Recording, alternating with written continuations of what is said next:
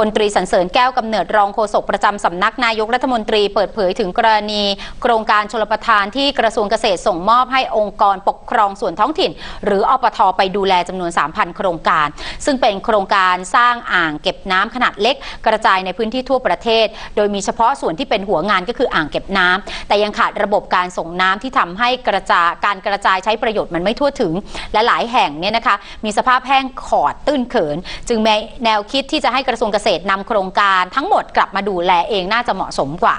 จากข้อมูลเบื้องต้นของกระทรวงเกษตรก็ทราบว่าได้มีการหารือกับอปทหลายแห่ง มีความเห็นตรงกันว่า อยากให้กระทรวงเกษตรรับกลับไปดูแล เพราะว่ามีผู้เชี่ยวชาญและมีทักษะในการบริหารจัดการที่ดีกว่า และเชื่อว่าแนวทางนี้จะช่วยแก้ไขปัญหาวิกฤตน้ำของประเทศได้ โดยเฉพาะในพื้นที่ภาคตะวันออก และลุ่มน้ำเจ้าพระยาที่ยังอยู่ในช่วง